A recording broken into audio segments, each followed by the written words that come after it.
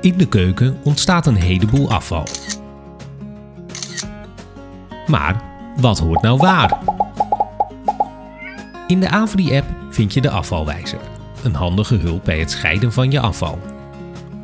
Al het afval van groente, fruit, vis, vlees en etensresten kunnen bij het GFT.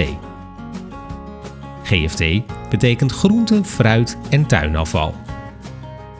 Een lastige. Losse koffie en thee en papieren theezakjes kunnen bij het GFT. Thee in nylonzakjes en koffiecupjes of pads zijn restafval. Alle kattenbakvulling hoort bij het restafval en niet bij GFT.